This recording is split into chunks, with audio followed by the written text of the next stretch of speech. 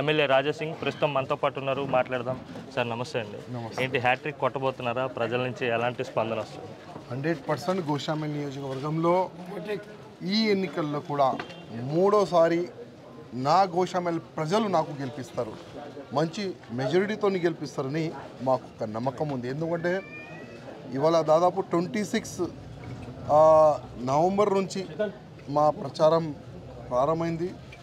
మంచి రెస్పాన్స్ వస్తుంది పబ్లిక్లో. ఎక్కడ చూస్తే అక్కడ జనాలు స్వాగతం పలుకుతున్నారు. చాలా మంచి రెస్పాన్స్ అయితే మాకు వస్తుంది. అంటే ఇక్కడ ఎంఐఎం అభ్యర్థిని పెట్టలేదు. ఎందుకు పెట్టలేదు? మీకు భయపడి పెట్టలేదా? లేకపోతే ఓట్లు ఆశించిన స్థాయిలో రావని పెట్టలేదా? కారణం ఏమని భావిస్తున్నారు? ముందు నుంచి మీరు గోషామి నియోజకవర్గం హిస్టరీ చూడండి. అసదుద్దీన్ ఓవైసీ ఎప్పుడు కూడా ఇక్కడ ఎంఐఎం క్యాండిడేట్ అయినా పెట్టడు. ఎందుకంటే ఇక్కడ ఉన్న మైనారిటీ ఓట్లని ఒకప్పుడు ఆయన కాంగ్రెస్కి అమ్మిండు. టూ థౌజండ్ నైన్ కానీ టూ థౌజండ్ ఫోర్టీన్ కానీ మళ్ళా టూ థౌజండ్ ఎయిటీన్లో టీఆర్ఎస్ వాళ్ళకి ఓట్లు అమ్మిండు. ఇప్పుడు కూడా ఈ బీఆర్ఎస్ వాళ్ళకి ఆయన ముస్లిమ్స్ ఓట్ అమ్మేసిండు. అదేవిధంగా నేను ముందు నుంచి ఒక మాట చెప్తున్నా. ఎవరు ఎక్కువ అసదుద్దీన్ ఓవైసీకి డబ్బులు ఇస్తే ఆయనకే బీఆర్ఎస్ టికెట్ అని నేను ముందే ప్రకటన చేసినాను. దాని తర్వాత అందరు లైన్ పైన లైన్ కట్టినారు అసదుద్దీన్ ఓవైసీ ఆఫీస్కి దారుసలాంకి. ఈ ఇప్పుడున్న బీఆర్ఎస్ క్యాండిడేట్ కానీ ఇంతకుముందు కొంతమంది కానీ అందరూ అసదుద్దీన్ ఓవైసీ పోయి కాలు మొక్కినారు. కానీ ఆయనకి ఎవరు ఎక్కువ డబ్బులు ఇస్తే వాళ్ళకి టికెట్ అని ముందే చెప్పేసిండు. ఇప్పుడున్న ప్రజెంట్ బీఆర్ఎస్ క్యాండిడేట్ ఆయనకి ఎక్కువ డబ్బులు ఇచ్చిండు ఆయనకి టికెట్ ఇచ్చేసినారు. టికెట్ ఇచ్చిన తర్వాత ఆయన కూడా యాక్సెప్ట్ చేసిండు. నాకు ఇవాళ బీఆర్ఎస్ టికెట్ వచ్చిందంటే అది అసదుద్దీన్ ఓవైసీ వల్లనే ఆయన కూడా యాక్సెప్ట్ చేసిండు.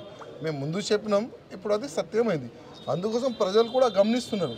మా గోషామేల్ కాన్సెన్స్ ఏంటంటే ఇక్కడ హిందూ ధర్మం పట్ల మంచి మంచి కార్యక్రమాలు జరుగుతుంది గౌరక్షణ కానీ భాగవత్ కథలు కానీ మంచి మంచి కార్యక్రమాలు ఇక్కడ జరుగుతుంది ఇక్కడ హిందూ మెజారిటీ కూడా ఎక్కువ. ఇట్లాంటి కాన్సెన్సీ ఒక ఎంఐఎంకి గులాం గులాంగిరి చేసే అట్లాంటి వ్యక్తికి మేము గెలిపాము ఒకవేళ వేరే వేరే కాన్స్టిట్యున్సీలో బీఆర్ఎస్ వాళ్ళు గెలిచినారు కానీ స్టేరింగ్ ఈ ఎంఐఎం వాళ్ళ చేతిలో ఉంది. అందుకోసం మా గోషామేల్ కాన్స్టిట్యున్సీ స్టేరింగ్ మేము ఎంఐఎం చేతిలో పెట్టాము ఎట్టి పరిస్థితుల్లో పెట్టాం. ఇంకొకసారి మూడోసారి బీజేపీకి గెలిపిస్తాం రాజాసింగ్కి గెలిపిస్తామని ప్రజల్లో ఒక మంచి అయితే ఒక ఉత్సాహం అయితే వచ్చింది. హైదరాబాద్ ప్రపంచ స్థాయి నగరంగా అభివృద్ధి చెందుతుందని చెప్పి అధికార పార్టీ నేతలు చెప్తున్నారు. అభివృద్ధి కూడా కనపడుతుందని చెప్తున్నారు. కానీ ఓల్డ్ సిటీ మాత్రం అలాగే ఉండిపోతుంది. మరి ఇక్కడి నుంచి ప్రాతినిధ్యం వహిస్తున్న ప్రజాప్రతినిధులకు బాధ్యత లేదా అంటే ఏమంటారు ఈ మాట మీరు ముఖ్యమంత్రి కేసీఆర్ కేటీఆర్తో అడిగితే చాలా బాగుంటుంది. హైదరాబాద్ని డల్లా చేస్తామని అసెంబ్లీ సాక్షిగా వారు వాగ్దానం చేసినారు. వేల కోట్ల రూపాయలు పెట్టి మేము డెవలప్మెంట్ చేస్తామని వాళ్ళు వాగ్దానం చేసినారు కానీ డెవలప్మెంట్ గురించి డబ్బులు ఇస్తే వాళ్ళు డబ్బులు ఆ, ఇక్కడ దాదాపు polluted water problem drainage problem road problem అన్ని ప్రాబ్లం ఉన్నాయి. కానీ మేము ఇక్కడ ఎమ్మెల్యే అయిన తర్వాత ఐదు వందల కోట్ల రూపాయలు అభివృద్ధి పనులు మేము చేసినాము. దానికి ఒక బుక్ కూడా నేను మీకు చూపెడుతున్నా. ఓకే. ఈ యొక్క బుక్ మేము ప్రింట్ చేసినాం. ఎందుకంటే చాలా వరకు ఇక్కడ ఉన్న బీఆర్ఎస్ క్యాండిడేట్ కానీ ఆ చీప్ కొంతమంది లీడర్లు ఉన్నారు. రాజా సింగ్ డెవలప్మెంట్ ఏమీ చేయలేదు చేయలేదని వాళ్ళు డప్పులు కొడుతున్నారు. వాళ్ళ నోరు ముయ్యనికి ఈ యొక్క బుక్ మేము ప్రింట్ ప్రింట్ చేసినాం. దాదాపు నైన్ ఇయర్స్లో మా నియోజకవర్గంలో ఎంత డెవలప్మెంట్ చేసినాము ప్రతి ఒక్క డివిజన్ డివిజన్ డివిజన్ మేము దీంట్లో రాసినాం. ఏ డివిజన్లో మేము ఎంత డెవలప్మెంట్ చేసినామని అందుకోసం నైన్ ఇయర్స్ మా డెవలప్మెంట్ అని ఫ్రంట్ పేజ్లో రాసి ప్రతి ఒక్క ఇంటింటి మేము బుక్ పం- పంచుతున్నాం.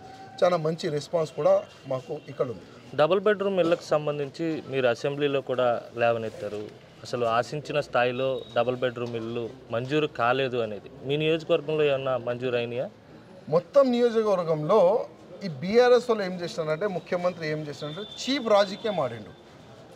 ఎలక్షన్ ముందుకు వస్తున్నాయి ఆయన ఎక్కడెక్కడ టూ బిహెచ్కే కట్టిండు కదా అది మొత్తం ఇన్కంప్లీట్ మన పక్క రాష్ట్రం ఆంధ్రప్రదేశ్ చూస్తే ల్యాక్స్ ఆఫ్ ఇల్లులు కట్టి కూడా ఆయన డిస్ట్రిబ్యూట్ చేసిండు. కానీ దురదృష్టం కేంద్రం నుంచి డబ్బులు ఈయన తీసుకొని రెండు లక్షల ఇల్లులు కూడా ఆయన కంప్లీట్ చేయలే. ఇప్పుడు ఎలక్షన్ మూమెంట్ వస్తుందని డ్రా సిస్టమ్ చేసిండు. డ్రా సిస్టమ్ ఏ విధంగా చేసిండంటే ఎమ్మెల్యేకి ఇన్వాల్వ్ చేయలే కార్పొరేటర్కి ఇన్వాల్వ్ చేయలే స్థానిక ఉన్న ఏ నేతలకైనా ఇన్వాల్వ్ చేయకుండా ఆఫీస్లో కూర్చొని కొన్ని చిట్టీలు రాసి వేసి డ్రా చేసిండు. ఆ డ్రాలో థర్డ్ ఫ్లోర్ ఆల్రెడీ అయినా ఇల్లులు ఉన్నాయి. పెద్ద పెద్ద బిల్డింగ్స్ ఉన్నాయి. వాళ్ళకి టూ బిహెచ్కే ఇల్లులు ఇచ్చేసిండు. అన్ని ఇల్లు ఉన్న వాళ్ళకి అయినా ఇల్లులు ఇచ్చేసిండు. మేము గతంలో కూడా ఒక రిక్వెస్ట్ చేసినాం అయ్యా మా దగ్గర గుడిసెలు ఉన్నాయి. వాళ్ళకి ఇల్లు చాలామంది సంవత్సరాల నుంచి రెంట్ హౌస్లో ఉంటున్నారు. వాళ్ళకి ఇల్లు చాలా వరకు మన మూసి చుట్టుపక్కల గుడిసెలు ఉన్నాయి వాళ్ళకి ఇల్లులు ఇయ్యి. చాలా వరకు మేము చెప్తున్నాం. కానీ వీళ్ళేం చేస్తున్నారంటే బీజేపీ వాళ్ళు క్రెడిట్ తీసుకుంటారు. అందుకోసం వాళ్ళకి ఇన్వాల్వ్ చేయొద్దని ఎక్కడెక్కడ ఈ బీఆర్ఎస్ ఎమ్మెల్యేలు ఉన్నారు వాళ్ళు మొత్తం హౌజెస్ వాళ్ళు అమ్ముకున్నారు. మొత్తం కరప్షన్ జరిగింది. దీంట్లో కూడా కరప్షన్ జరిగింది. కానీ పట్టా ఇచ్చేసినారు.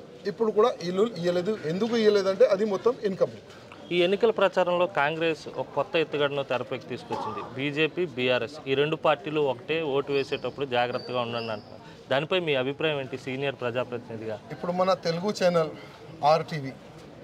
మీ ఛానల్లో ఒక్కటే ఒక్క నేను ఛాలెంజ్ చేస్తున్నా. మూడు డిసెంబర్ తర్వాత మీరు చూస్తారు ఆ కేసీఆర్ కారులో కాంగ్రెస్ వాళ్ళు కూడా వచ్చి కూర్చుంటారు కాంగ్రెస్ బీఆర్ఎస్ ఒకటైపోతారు ఒకటే కారులో తిరుగుతారు. ఈ దొంగలు దొంగలు ఒకటే ఊరు పంచనికి మొత్తం ప్లాన్ చేసుకున్నారు. ఆల్రెడీ తెలంగాణలో ఈ బీఆర్ఎస్ కేసీఆర్ గవర్నమెంట్ వచ్చిన తర్వాత అప్పుల పాలన చేసినారు. ఇంకా పాత దొంగలు అంటే కాంగ్రెస్ వాళ్ళు అంతా పాత దొంగలు. వాళ్ళు కూడా తెలంగాణని దోసుకున్నారు ఆంధ్రప్రదేశ్ని దోసుకున్నారు. ఇప్పుడు వాళ్ళు కూడా ఇద్దరు కలిసి ఇంకా కూడా తెలంగాణని సర్వనాశనం చేస్తారు. అది మీరు మూడు డిసెంబర్ తర్వాత చూస్తారు. ప్రజాప్రతినిధులకి ముఖ్యమంత్రి నిధులు ఇవ్వాల్సి ఉంటుంది ఖచ్చితంగా. అందరూ ప్రజాప్రతినిధుల్ని చూసినట్టే రాజాసింగ్ నియోజకవర్గాన్ని రాజాసింగ్ని అధికార పార్టీ చూస్తుందా అంటే ఏముంటుంది దాన్ని? నేను చాలా వరకు అంటే నేను రిక్వెస్ట్ చేసే నాకు అలవాటు లేదు కొట్లాడే అలవాటు నాకు.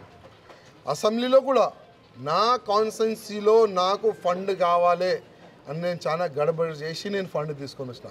వాటర్ వర్క్స్ కానీ ఫిష్ మార్కెట్ గురించి కానీ నాలల గురించి కానీ బ్రిడ్జ్ గురించి కానీ చాలా వరకు ఎంతవరకు నేను డబ్బులు తీసుకొని రావాలి అది నేను కొట్లాడి తీసుకొని వచ్చిన ఫైవ్ హండ్రెడ్ టూ కరోడ్స్ చిన్న అమౌంట్ కాదు ఫైవ్ ఇయర్స్లో టెన్ ఇయర్స్లో ఇంకా నాకు ప్రజలు గెలిపిస్తారు ఇంకా ఫైవ్ ఇయర్స్లో ఇంకా ఐదు వందల కోట్లు తీసుకొని వచ్చి నా దోషామల్ని డెవలప్మెంట్ చేస్తాను మీ ఛానల్ ప్రకారం ఛాలెంజ్ చేస్తాను అంటే ఇప్పటి వరకు ఏం సమస్యలు ఇంకా పెండింగ్లో ఉన్నాయి? ఏమన్నా చేయాలని ఏమన్నా ప్రణాళిక సిద్ధం చేసుకున్నారా? రానున్న మీరు శాసనసభ్యుడైతే రానున్న ఐదేళ్ళలో ఈ పనులు చేసుకోవాలని ఏమన్నా ప్రణాళిక సిద్ధం చేశారా?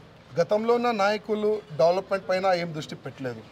నేను ఎమ్మెల్యే అయిన తర్వాత ప్రతి గల్లీ ప్రతి బస్తీ ప్రతి ఇంటింటి నేను తిరిగి అసలు ప్రాబ్లం ఏమేమి ఉంది అది మొత్తం ఐడెంటిఫై చేసిన. ఫైవ్ హండ్రెడ్ కరోడ్స్ని పెట్టి సగం ప్రాబ్లమ్ని నేను సాల్వ్ చేసిన. ఇంకా polluted water drainage water road problems అయితే ఇంకా చాలా ఉన్నాయి. నెక్స్ట్ ఫైవ్ ఇయర్స్లో అది కూడా కంప్లీట్ చేస్తా. నెక్స్ట్ ఎలక్షన్లో అంటే టూ థౌజండ్ ట్వంటీ త్రీ ఎన్నికల తర్వాత వచ్చే ఎన్నికల్లో ఇంట్లో కూర్చొని నేను ఎలక్షన్ కొట్లాడతా గెలుస్తా ఆ విధంగా నేను డెవలప్మెంట్ రాజసింగ్ గారు ఇంకో విషయం మీ పార్టీకి మీ పర్సనల్గా సంబంధించిన విషయం. కొన్ని అనివార్య కారణాల దృష్ట్యా మీరు పార్టీ నుంచి సస్పెన్షన్కి గురయ్యారు. ఆ తర్వాత మళ్ళీ పార్టీలోకి వచ్చి ఇప్పుడు ఎమ్మెల్యే అభ్యర్థిగా ప్రజల్లోకి వెళ్తున్నారు. అప్పటికి ఇప్పటికి ఏమైనా తేడా ఉందా? కాస్త మీ ఆత్మస్థైర్యం ఏమైనా. దెబ్బతిందా? కార్యకర్తల్లో మంచి ఉత్సాహం. నేను సస్పెన్షన్ దేని గురించి అయినా అంటే కేటీఆర్ వల్లనే. మునవర్ ఫారూఖీన్ అని పిలిచిండు. మా రాముడిని సీతామాతని తిట్టే అట్లాంటి వ్యక్తిని పిలిపించి ఆ వేస్ట్ ఫెలో కేటీఆర్ ప్రోగ్రామ్ పెట్టకపోతే ఇంత పెద్ద ఇష్యూ అయ్యేది లేదు. అయినా మా రాముడిని తిట్టే వ్యక్తిని పిలిచిండు నేను ఆ వ్యక్తిని తిట్టినా. దానివల్లనే సస్పెండ్ అయినా. సస్పెండ్ అయిన తర్వాత కోర్టు కానీ పోలీస్ కానీ అన్ని విధాలుగా మా పార్టీ నాకు మంచిగా సపోర్ట్ చేసింది. దాని తర్వాత సస్పెండ్ చేసి తీసినారు. దాని తర్వాత టికెట్ ఇచ్చినారు. పార్టీ ఫుల్ ఆశీర్వాదం నా పైన ఉంది.